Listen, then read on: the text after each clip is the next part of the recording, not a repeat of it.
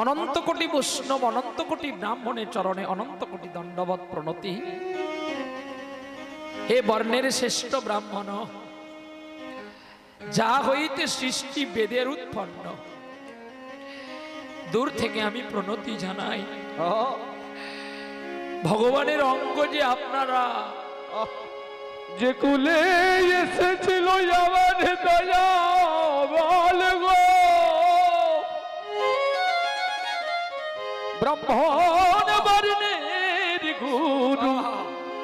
ব্রহ্ম- ব্রাহ্মণ বর্ণের গুরু। তাই তোমাদের চরণে প্রণাম করি। তৎপরে জানাই, নদিয়ার নিমাই চাঁদ, তোমাকে তোমার পারিষদগণকে এবং ব্রজের কিশোর রাধারানী ওগো শ্যাম সুন্দর মদন গোপাল তোমাকে, তোমার সখাগণকে, তোমার সখীগণকে আমি দিদির কাঙাল প্রণতি জানাই। একবার করুণা করে, কৃপা করে এদিন কাঙালের সভা আসরে এসে একবার সদয় হয়ে যাও। চতুর্মাস ব্রত সমাপন, আজ সেই তিথি। এই তিথিটি পাওয়াও বড় দুর্লভ হয়ে যায়। যিনি চার মাস শয়নে ছিলেন আজকে তিনি উঠে এলেন। জগৎবাসী আমাদের মতো প্রতিটি জীবীকে উদ্ধার করবেন বলে। রাধে রাধে। তোরা আয় তোরা আয়। তোরা যায় তোরা আয়।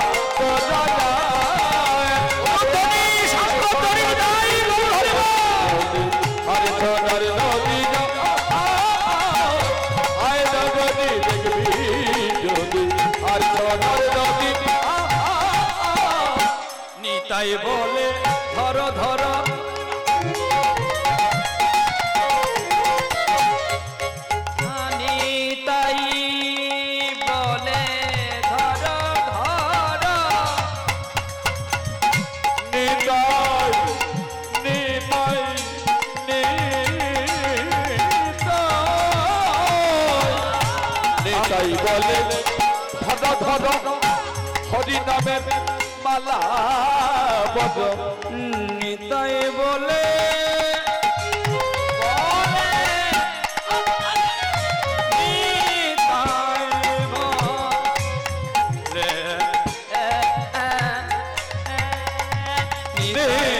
বলে ধর ধর আমি তোদের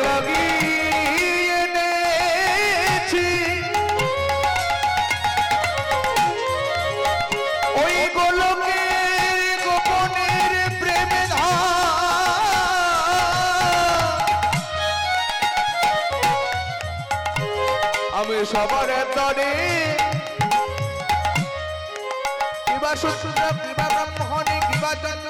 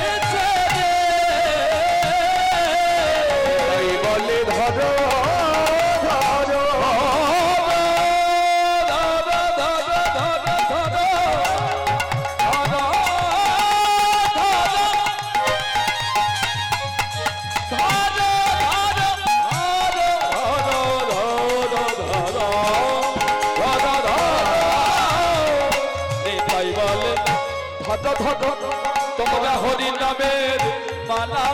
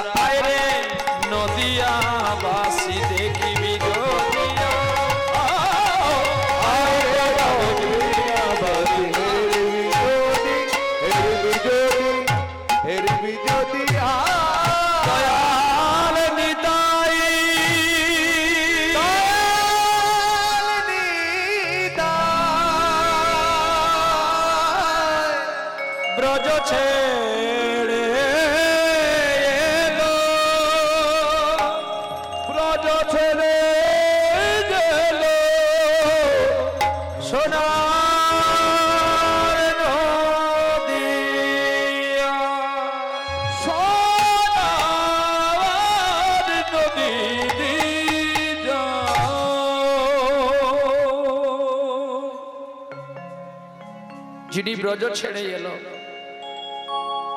যিনি সত্যের অনন্ত না আগে শঙ্কর যিনি ত্রেতাই লক্ষণ। যিনি দাপড়ের বলরাম। আজকে তিনি এলেন সোনার নদী হাতে ভাইকে প্রেম শেখাবে বলে। প্রেম পাঁচ প্রকারের। কেউ যদি বলেন দুই প্রকারের প্রেম, না। পাঁচটি প্রকারের প্রেম আছে। শান্ত প্রেম, দাস্য প্রেম সখ্য প্রেম, মধুর প্রেম, বাৎসল্য প্রেম। পাঁচ প্রকারের প্রেম দিয়ে ব্রজের মানুষগণ, গোপীগণ, জীবগণ কৃষ্ণকে ভালোবাসতেন। শুধু একটু অপরাধী করে ফেলেছিলেন বাৎসল্য প্রেমে মা যশোদা, যিনি সত্যযুগের ধরা দেবী ছিলেন। স্তন কেটে গোবিন্দ সেবাই করেছিলেন। তার চলার পথে একটু সামান্য ভুল হয়ে গিয়েছিল। ভুলটি কি জানেন? গোপালকে দড়ি দিয়ে বেঁধেছিল এটাই তার অপরাধ। দামোদর। তাই গোপালকে বেঁধে না হয়েছিল বলে তাই সেই বন্ধন থেকে চতুর্মাস ব্রত শুরু হয়েছিল। ভগবান কৃষ্ণ মায়ের এই ব্যথাটুকু সইতে পারলেন না। তাই তিনি ব্রজ ছেড়ে সকলকে ভুলে পালিয়ে গিয়েছিলেন মধুপুরে মথুরায়। মথুরায় আর এক বাবা মা ছিল কারারুদ্ধ হয়ে তাদেরকে উদ্ধার করলেন। পিতা বসুদেব, মাতা দেবকীকে। করে হস্তিনাই গেলেন, ধর্মকে স্থাপিত করার জন্য। পরে তিনি চললেন কোথায়? চললেন সেইখানে, দ্বারকার মহারাজ পুরীতে আর দ্বারকায় কি রাজা হয়েছিলেন ঠিকই, তবুও কৃষ্ণ তার ব্রজের ভাবের কথা ভুলতে পারেনি। তাই আজ আজ আমরা সেই ব্রজে বসেছি। চতুর্মাস উত্থায়ন একাদশী তিথিতে আমরা গোবিন্দের চরণ কমল দর্শন করতে পেলাম। এর চেয়ে আর কিছু পাওয়ার আছে কি আপনাদের? কি গো? প্রত্যেক দিন আপনারা বিষয়, সম্পত্তি, টাকা, পয়সা অনেক ঢাকিয়েছেন কিন্তু এমন রজনী তো পাননি। যে ব্রজের কৃষ্ণ চতুর্মাস পরে আবার আমাদের কান্না শুনে যিনি ঘুম থেকে উঠলেন কই তাদের জন্য আমরা কিছু ভাবলাম না তো আরে ভেবেছিলেন সেই মেয়েটা যেই মেয়েটা যাকে দড়ি দিয়ে বেঁধেছিল। কেঁদে কেঁদে বলছে দ্বারকার পুরীতে কৃষ্ণ ওরে আমার গোপাল আমি তোকে বেঁধে বড় ভুল করেছি। তুই আমায় কথা দে না। আর আর একবার আমার আমার পুত্র হয়ে আসবি তুই।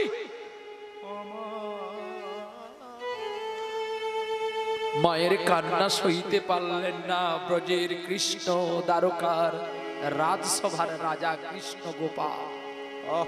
মাকে কথা দিলেন মা তোমার আশা পূর্ণ হবে। তবে এটাই সত্য। তুমি আমাকে বাধা দিও না।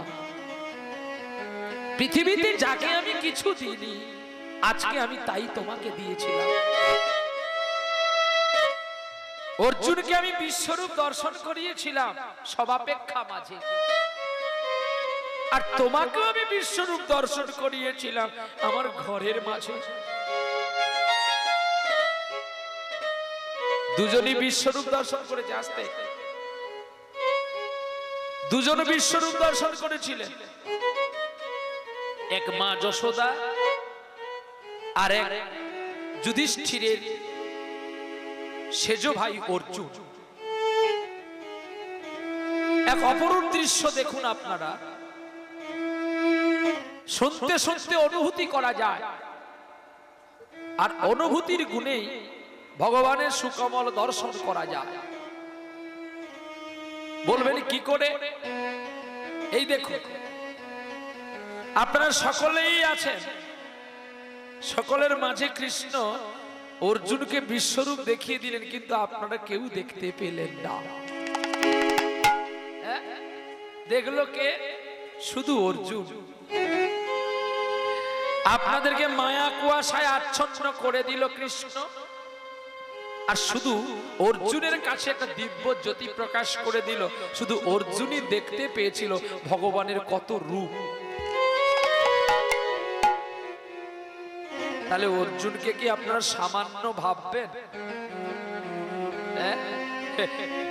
যুধিষ্ঠিরের রথের সারথি হলো না ভীমের রথের সারথি হলো না নকুলের রথের সারথি হলো না হ্যাঁ, সহদেবের রথের সারথি হলো না শুধু অর্জুনই রয়েছিল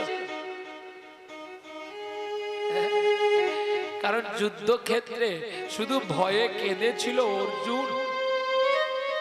আমি তো কিছু জানি না গো শ্যাম তুমি ছাড়া আমাকে কে শেখাবে এই যুদ্ধ? তাছাড়া এই শালা শ্বশুর সম্বন্ধীকে নিধন করে সামান্য রাজ্য সুখ কিবা প্রয়োজন? ভ্রান্তি ভ্রান্তি ভ্রান্তি। তব ভ্রান্তি নির্বাসন করো। হে অর্জুন সখা মম। আমি তোমার ভ্রান্তি দূরীভূত করার জন্য এসেছি তোমার কাছে তাই দেখবেন লেখা আছে, যদা যদা ই ধরে মৎস্য গ্লানির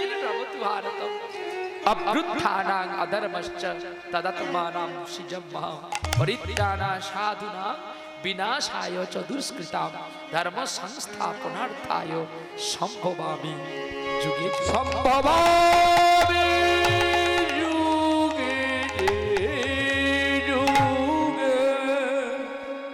কৃষ্ণ ধনঞ্জয়। তাহলে অর্জুন সামান্য ব্যক্তি নয় গো। যশোদাও সামান্য ব্যক্তি নয়। তাই এই যশোদা এলেন পুনর্বার নদিয়াতে নীলাম্বর চক্রবর্তীর কন্যা রূপে। নাম তার শচী দেবী। এই শচী দেবী মাত্র নিমাই পণ্ডিতকে গর্বে ধরেছিলেন। কত মাস গো? তেরো মাস গর্ভে ধরেছিলেন। এক মাস নয়, দুই মাস নয়, তিন মাস নয় নয় মাস নয়, দশ মাস নয়। তেরো মাস নিমাইকে ধরেছিলেন গর্ভে। মনে মনে ভাবছি, আমার কেন গর্বে সাড়া পড়ছে না? দ্বাদশ মাস হতেই বাবার কাছে গেল। পাড়া প্রতিবেশী সকলে বলছে হে সচি সচি রে, তোর গর্ভ বুঝি নষ্ট হয়ে গেছে রে। ভালো ডাক্তার বৈদ্য দেখা। গর্ভের অংশটাকে নষ্ট করে বের করে দে, নাহলে তো তুই মারা যাবি। বাবার কাছে ছুটলেন কানতে কানতে কন্যা। নদিয়ার মধ্যে শ্রেষ্ঠ জ্যোতিষী ছিলেন নীলাম্বর চক্রবর্তী। খড়ি পেতে দিলেন নিমাই। নিমাইয়ের দাদু গো, খড়ি পেতে দিলেন। দিয়ে দেখছে বলে মারে তোর গর্ভে যে আসছে সে নষ্ট হয়নি। সে জগতের পাপ নষ্ট করার জন্য আসছে। আর যারা বলে তোর গর্ব নষ্ট করবে ওদের মনের যে নষ্টগুলোকে আজ নিমাই দূরীভূত করবে যা তোর ছেলে সাধারণ নয় রে। সময় হলে ঠিক আসবে মা তুই ফিরে যা। নিমাই মা শচী দেবী ফিরে এলেন। আর জন্ম হয়েছিলেন নক্ষত্র ফাল্গুনী পূর্ণিমা তিথিতে, নিম্ন বৃক্ষের তলায়। তাই তার নাম দেওয়া হয়েছিল নিমাই। চব্বিশ বছরের অগ্রে সমস্ত শাস্ত্র বিধান পাঠ করেছিলেন বলে তাই তাকে পণ্ডিত উপাধি দেওয়া হয়েছিলেন। তাই তার নাম নিমাই পণ্ডিত। হ্যাঁ? সতেরো বছর বয়সে তিনি সব কমপ্লিট করে ফেললেন। কি? করুণা? শেষ পড়াটা নিয়েছিলেন কাটুয়া কাঞ্চন নগরে কেশব ভারতীর কাছে। যে পড়ার এই জগতে কেউ নিতে পারবে না। বললেন তো অশ্বমেধ গোপালব্যম সন্ন্যাস প্রলপ্রীতিকং দেবরেণ সতত পত্তি কলৌ পঞ্চ বিবর্জয়ে কলৌ পঞ্চ বিবার জয়ে। আমি যে পাঁচটি মানা করে গেলাম তোমরা কেউ এই পাঁচটিকে কাছে রাখবে না। পাঁচটি থেকে দূরে থাকবে। অশ্বমের যজ্ঞ করবে না, নরমের যজ্ঞ করবে না, গোমের যজ্ঞ করবে না, দেওরের দ্বারা সন্তান সৃষ্টি করবে না, আর সন্ন্যাস কেউ নিতে পারবে না। কারণ সন্ন্যাস বড় কঠিন। তিনবার স্নানে, একবার ভোজনে। নিমাই কখনো জুটবে, তোর কখনো জুটবে নাই। নিমাইয়ের আরেক নাম বিশ্বম্বর। আরেক নাম শ্রীকৃষ্ণ চৈতন্য মহাপ্রভু। আজ বড় শান্তির বাসর। আমরা সকলে উপবেশন করেছি ভীমেশ্বরী বাজারে, শিমুলিয়া গ্রামে। পূর্ব মেদিনীপুর ভগবানপুর থানা অন্তর্গত। দাদাবাবুর নাম যেন বীরেশ্বর সাউ। দাস মহোদয়ের শান্তিপর্ণ কুটিরে। আপনারা সকলে উপবেশন করেছেন। গতকাল অধিবাস কীর্তন হয়ে গেছে। আজ সুপ্রভাতে অষ্টপ্রের শুভ নামে শুরু। আর রজনী কালে আমরা শুনব ভাগবতীয় কথা, গোকর্ণের উপাখ্যান। আজ বসেছে কত সুন্দর হরিবাসনের মেলা। কত আমার জননী, কত আমার পিতৃবর্গ, কত আমার বন্ধু, কত আমার ভাই। পুত্র সম স্নেহ মমিতার কথা। আজ লুকাইয়ে দেবে সেই কৃষ্ণ বধু মাতা কৃষ্ণ পিতা কৃষ্ণ মাতা কৃষ্ণ বন্ধু ভাই। তুমি বিনা এ সংসারে জীবের কোনো গতি না জীবের কোন গতি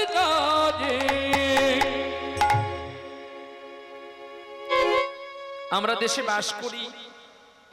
আজকে সারাদিন তো একটা ভালো তিথি চলে গেছে। আমরা সকলে চেষ্টা করি আমাদের দেশটাকে ভালো করার জন্য। কি করি না? হ্যাঁ? টাকা গুনি আমরা কি দিয়ে গো? আমরা টাকাগুলো গুনি কি দিয়ে? হ্যাঁ? থুতু দিয়ে থুতু। থুতু দিয়ে? আপ দিয়ে? প্লাস্টিক গুনি কি দিয়ে? ফু দিয়ে। ফু দিয়ে। যাকে পলি পেপার বলা হয়। তাহলে সেই দেশ নাকি লন্ডন হবে আপনারা ভাবতে পারেন হ্যাঁ?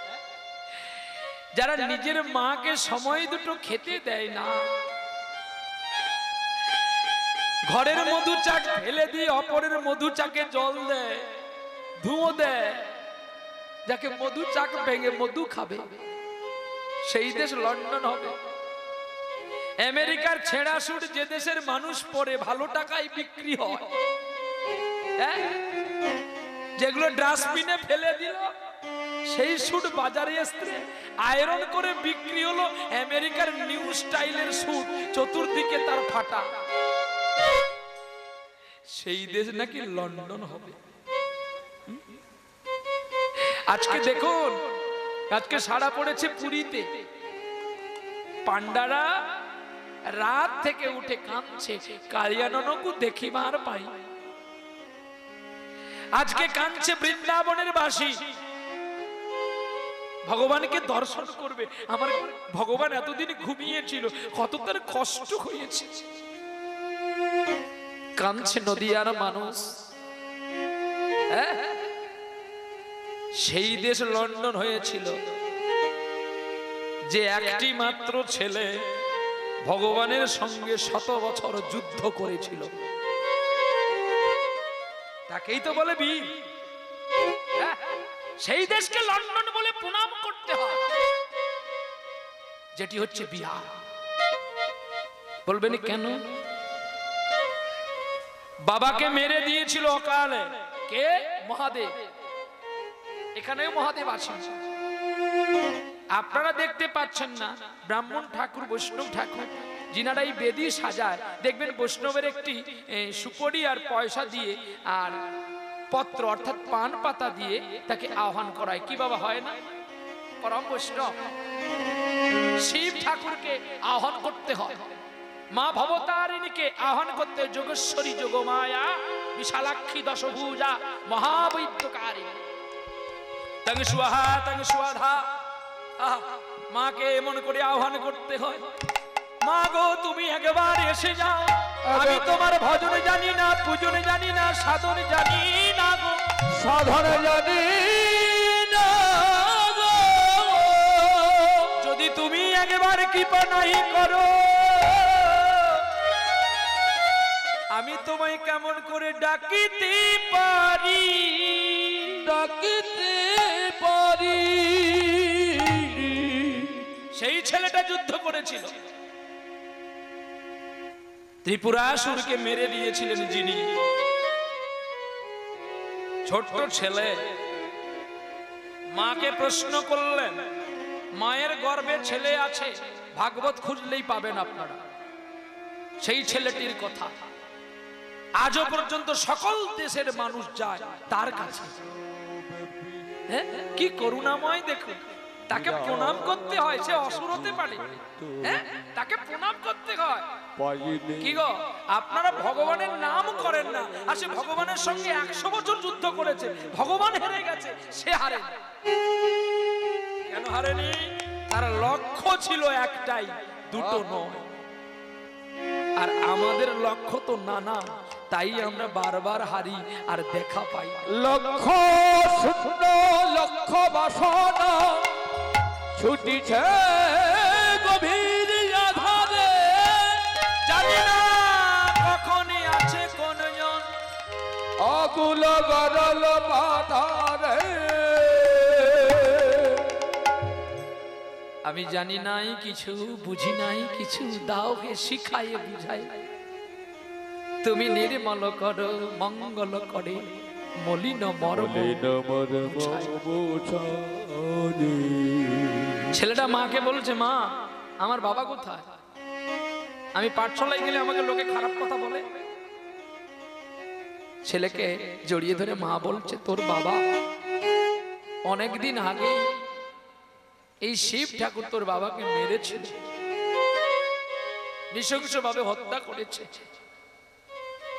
তাহলে আমার বাবার নাম কি? তোমার বাবার নাম ত্রিপুরাসুর বেশ আমি দেখছি। যোগ সাধনায় মগ্ন হয়ে, যোগ সাধনায় সর্ব অস্ত্র বিদ্যা পারদর্শী করলেন। প্রথমে আক্রমণ করলেন স্বর্গ। ভগবানের ঘাট হচ্ছে স্বর্গ। তো ভগবান যখন চরণ দেবে, আগে স্বর্গে দেবে, তারপরে মরতে। সেই স্বর্গ ইন্দ্রকে তো তার সিংহাসন থেকে ফেলে দিলেন। তমল যুদ্ধ শুরু করলেন। যার যুদ্ধ সামাতে পারলেন না ব্রহ্মা, যার যুদ্ধ সামলাতে পারলেন না শিব। শেষে অনন্ত নাগে সহিত ক্ষীরোদ গোবিন্দ কাছে সকলে গিয়ে দেবতা মণ্ডলী যখন জানালেন বার্তা, নারায়ণ তখন ছুটে এলেন। ওই ছেলেটার সঙ্গে যুদ্ধ করার জন্য। একশো বছর বিষ্ণু যুদ্ধ করলেন ছেলের সঙ্গে। কিন্তু কোন দিন বিষ্ণু ওই ছেলেটার কাছে জয় হতে পারল না। তখন বিষ্ণু বলছে, ওগো ছেলে, তুমি আমার সঙ্গে যুদ্ধ করছ। আমি তোমার যুদ্ধে, আমি আমি আমি তোমার কাছে খুব ধন্য হলাম। যে আজ পর্যন্ত কেউ আমার সঙ্গে একদিন যুদ্ধ করে পারে না। তুমি একদিন নয়, এক মাস নয়, এক বৎসর নয়, তুমি শত বছর আমার সঙ্গে যুদ্ধ করলে। আমি তোমার জয়ে, তোমার যুদ্ধে আমি পরাজিত। তবে তুমি কি চাও আমাকে বলো? আহ, ছেলেটা বলল, আমি আর কি চাইব? আমার বাবা তো চলে গেছে, আমি তো আর বাবাকে পাবো না। কিন্তু তুমি আমায় কথা দাও। তোমার চরণ যেন আমার বুকে সদাই থাকে। আহ! ছেলেটা তো বুঝতে পেরেছে যে আমি এতদিন কি ভুল করেছি। তখনই গোবিন্দ কেঁদে উঠলেন, তুমি তো আগেই চেয়ে নিতে পারতে। কেন এতদিন সময়গুলো নষ্ট করলে তুমি? না, আরেকটা বর আছে। কি? বলো। না আমি অসুর সকলে আমায় ঘৃণা করবে। কিন্তু আমার নামে যেন একটি তীর্থ হয়। সকলে যেন আমার কাছে আসে আমাকে অসুর বলে কেউ যেন না ঘৃণা করে।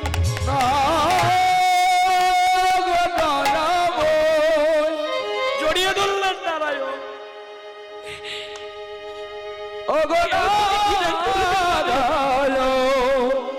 আমি তোকে বর দিচ্ছি আই থেকে তোরই নামে হবে একটি মহাতীর্থ ধাম তোর এই ধামে সকলেই আসবে, সকল মানুষের আত্মা মুক্তি পাবে। যা। তবে একটা কথা আমি তোমাকে বলি খোকা, তোমার এই দেহটাকে যে পাষাণ হতে হবে। আমি পাষাণ হব, তুমি আমার বরে সম্মতি হলে তো হব। গোবিন্দ বলছে যার যার যুদ্ধে আমি পরাজয় হয়েছি, তাকে বর্ণা দিয়ে কি আমি যেতে পারব রে? আই থেকে তোমার নাম হলো গয়াসু।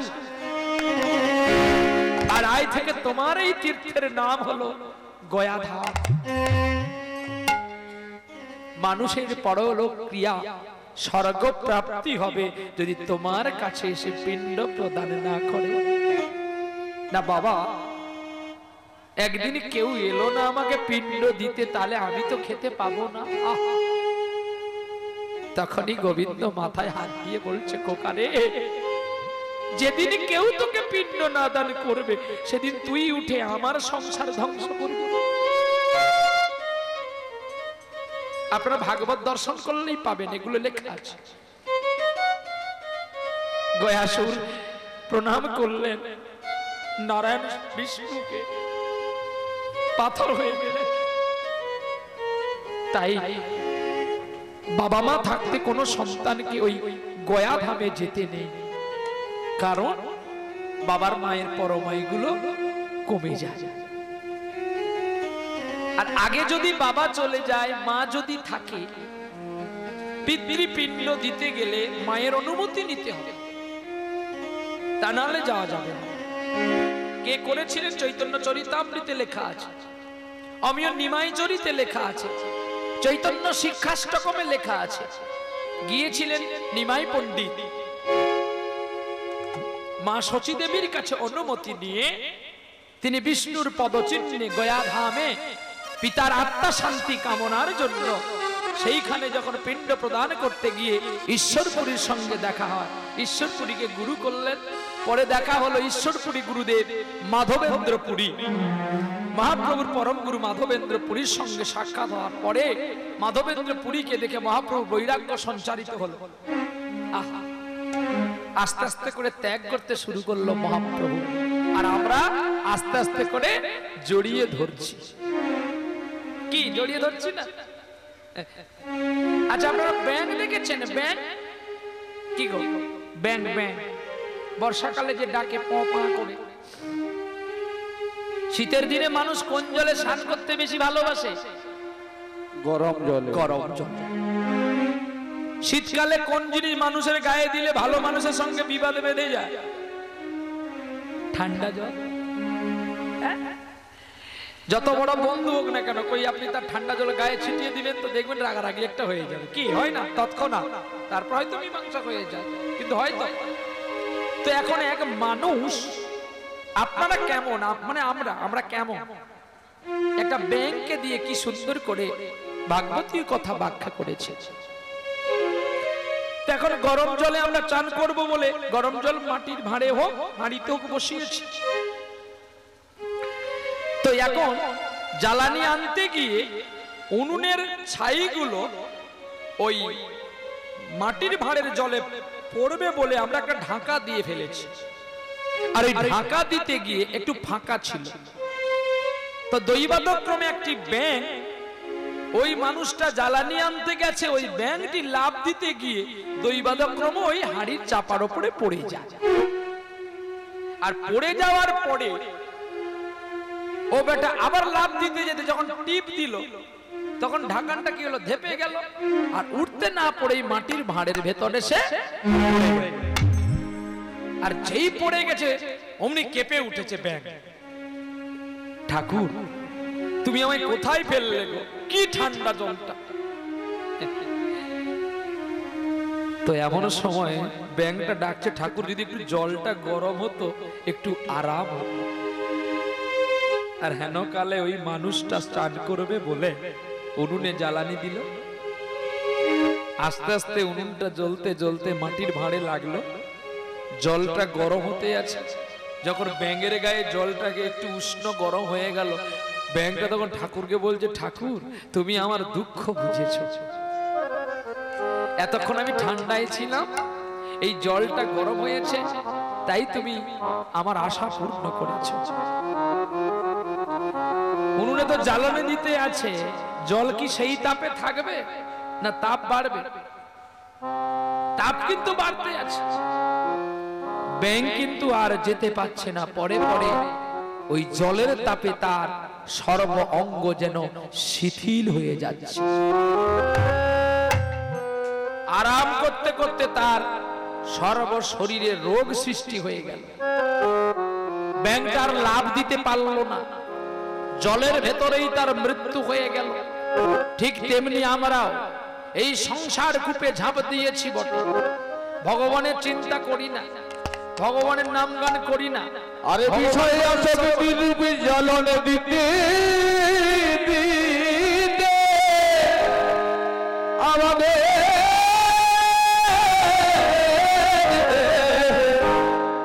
সুখ আর হলো না। সুখের বিনিময়ে আমাদের অসুখ হয়ে হয়ে গেল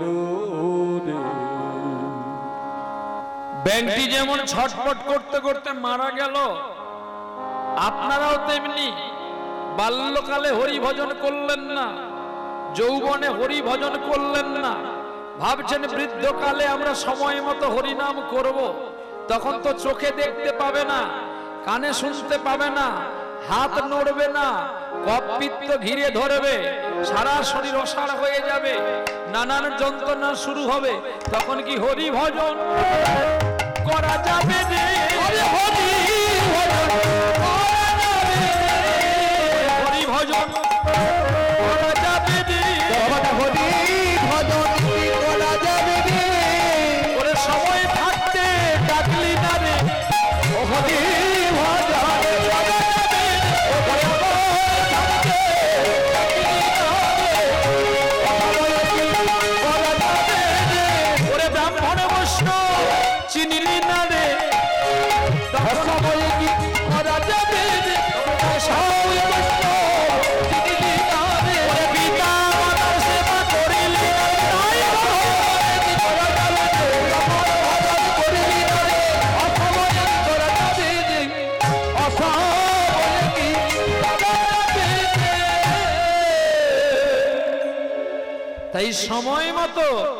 আমাদের হরিনাম গাইতে হবে, কৃষ্ণ নাম গাইতে হবে।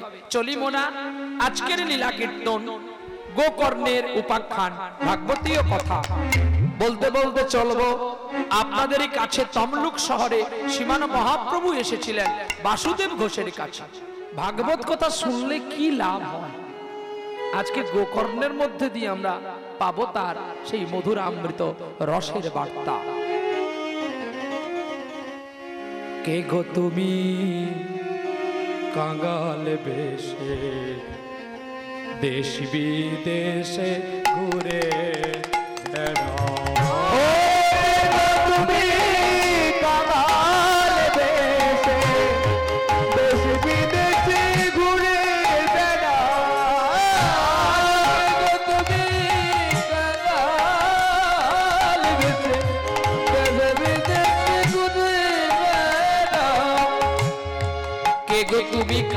বেশে দেশ বিদেশে ঘুরে বেড়াও।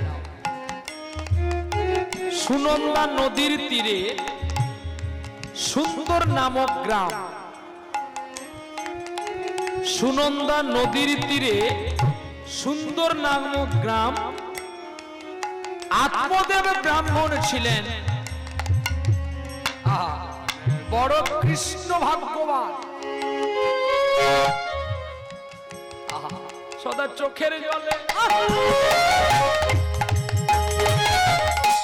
ডাকতো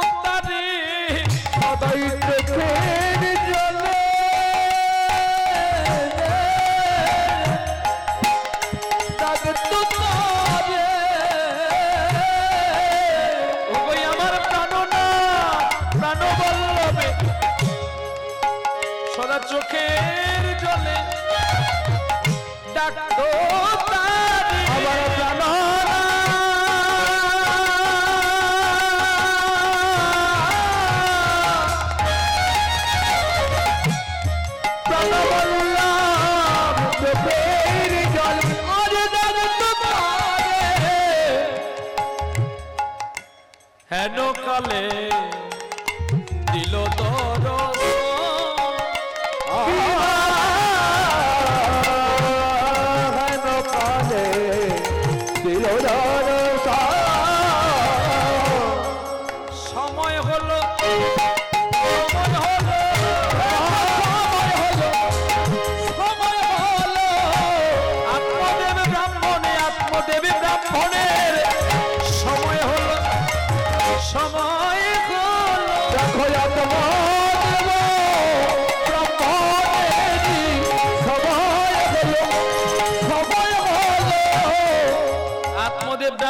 সময় হয়ে গেল। কি সময়? শুভক্ষণে শুভক্ষণে শুভ লগ্নে আত্মদেব ব্রাহ্মণের বিবাহ হলো। আর ব্রাহ্মণের বিবাহ হয়েছে। ব্রাহ্মণ যত্ন করে পুজো অর্চন করে। যেমন আজকে আপনাদের বাড়িতে ব্রাহ্মণ ঠাকুর এসেছে পুজো অর্চন করে। এটা তার যজমান বাড়ি। কোন যজমান বাড়িতে একশো টাকা দেবে কোন যজমান বাড়িতে এক টাকা দেবে। যা পেয়েছে নিয়ে গেছে। কি গো? সে তার লুকিয়ে রাখেন। সে তার কাউকে দিয়ে দেয়নি। কি? এই যখন বেদি বিরাম হয়ে যাবে, যখন এই কাপড় চুপড় গোছাবে, কেউ হয়তো বলছে, বাবা, আমাকে একটা গামছা দাও না। আপনি কি না দিয়ে যেতে পারবেন? দিয়ে দিতে হয়। তা আপনি দিতে গিয়ে, ওখানে ব্রাহ্মণে কিন্তু হিসাব করা আছে যে কতখানা ঘট হয় আর কতখানা কাপড় থাকে।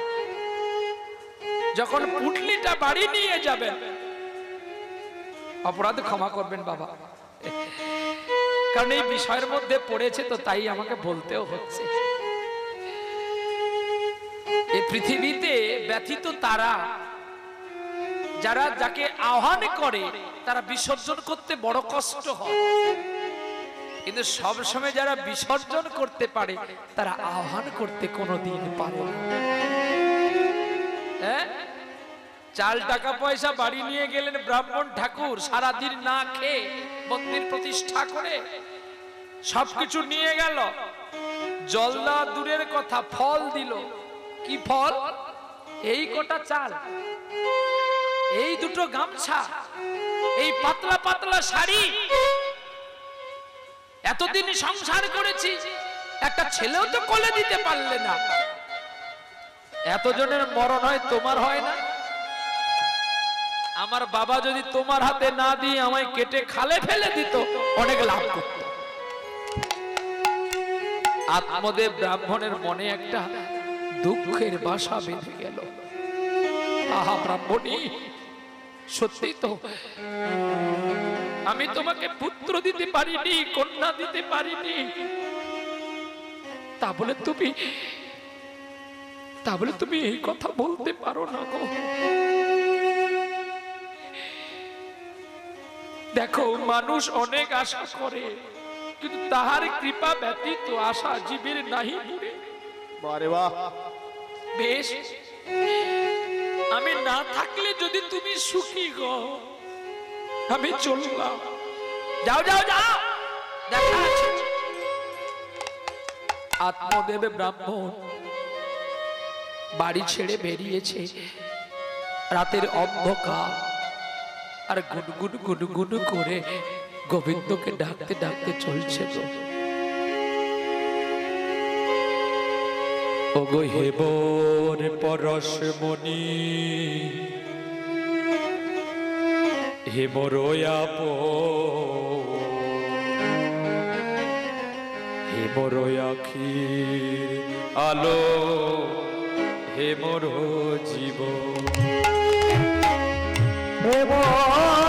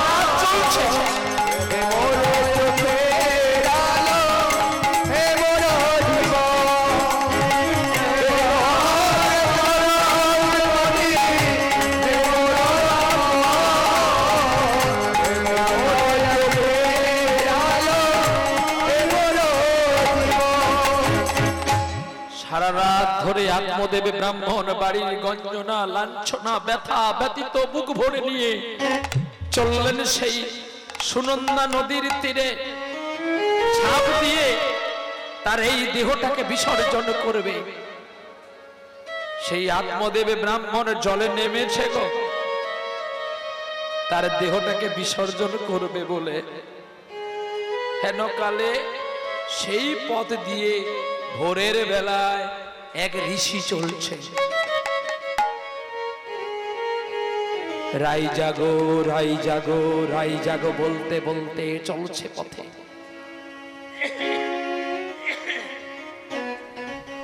আর দেখতে পেল, অদূর থেকে শুনতে পেল, কে যেন আতল সুরে কাঁদছে গো।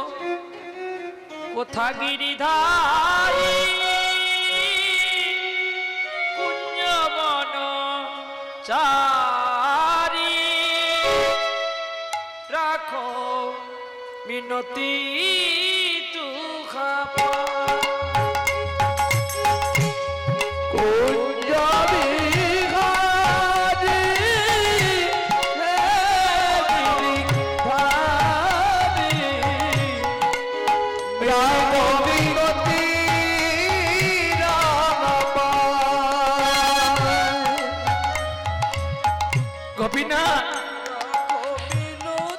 তোমার সঙ্গে আমার দেখা হবে না গো। তাই মরণের কালে তুমি তো কি তাই বলে গেছো। অন্তকালে ভাবে চো শরণ মুক্ত কলে বড় তাই তোমার কথাই তো আমি মাথায় নিয়ে এই মরণকালে তোমায় একবার ডেকে নি আর যদি তোমার সঙ্গে আমার দেখা না হরিবল হরিবল। কোথা গিরিধারি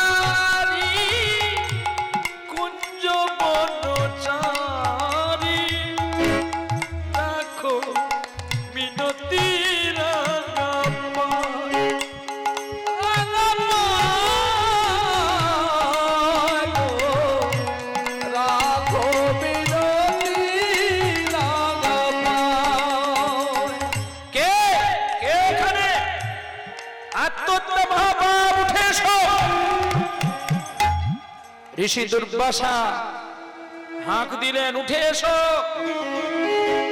অকালে মৃত্যুবরণ, আত্মাকে হত্যা করে অপরাধ, উঠে এসো উঠে এসো।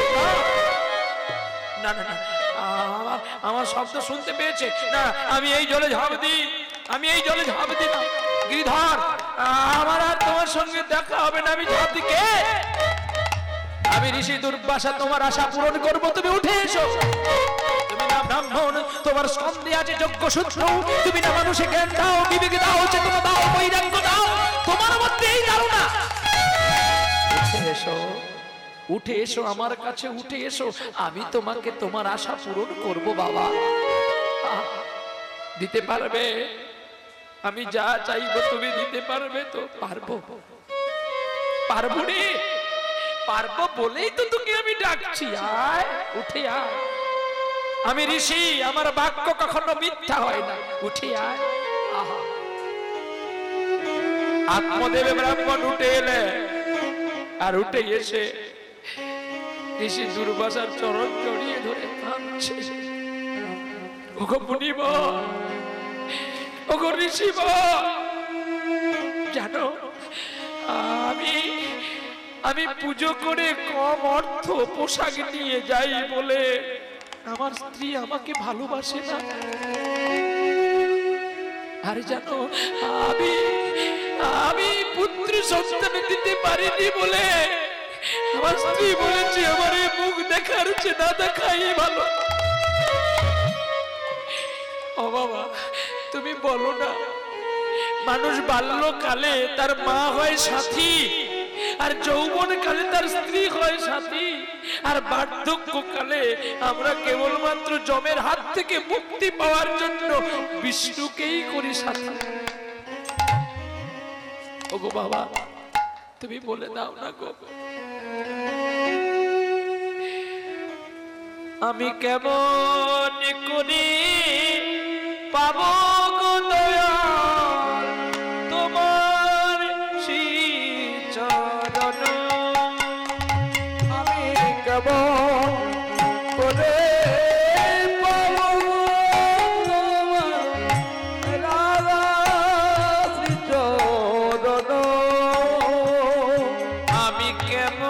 করে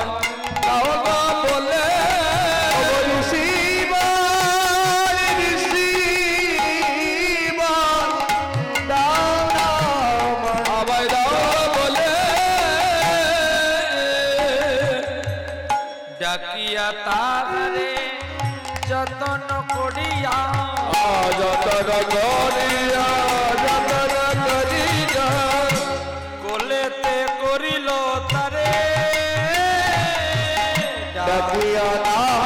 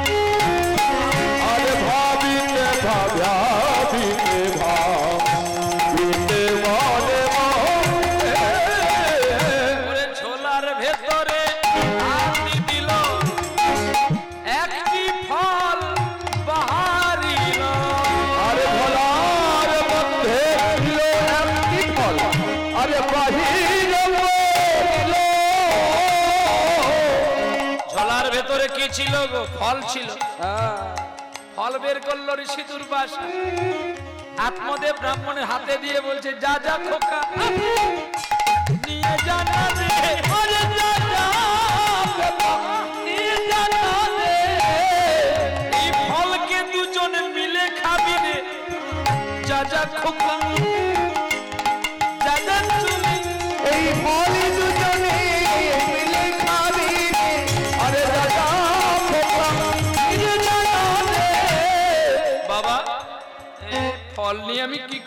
ওরে খোকা এই ফলটিকে নিয়ে যা। এই ফলটিকে নিয়ে তোর স্ত্রী আমার মাকে বলবি এই ফলটিকে দু ভাগে ভাগ করতে। মানে আধা খানা তুমি আর আধা খানা তোমার স্ত্রী যেন খায়। দেখবি তোদের ঘরে পুত্র হবে আরে তোদের ঘরে পুত্র আসবে। এটা বিশ্বাস করা যায়। ফল খেলে পুত্র হবে।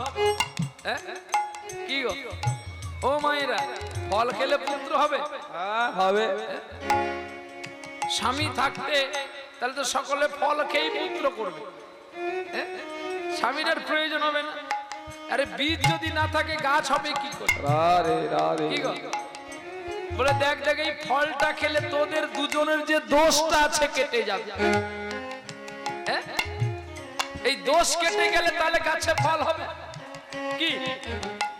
তাহলে দোষটা আছে বলে ফলটা আসতে পারছে না। যা। এই দুজনে মিলে ফলটা খাবি, যা। আর যেই ভাব করিবি সেই সন্তান হবে। যা।